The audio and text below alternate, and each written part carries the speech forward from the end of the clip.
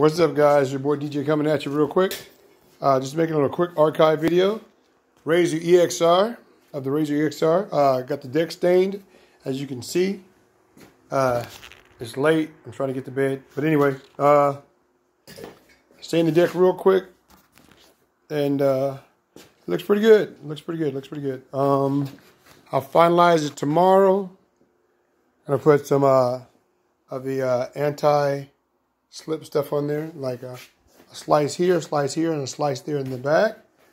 Uh, but yeah, it turned out quite well. I don't know why my phone is getting foggy all of a sudden, but it is.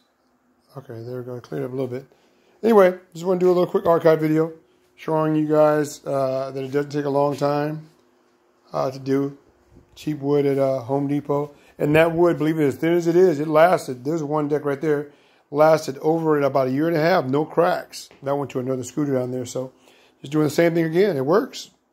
So uh, again, with this deck, I'll be able to put both feet. I got an extra inch, a little over extra inch of uh, foot room because I went with the wooden deck that I can utilize. So, okay, just want to archive this.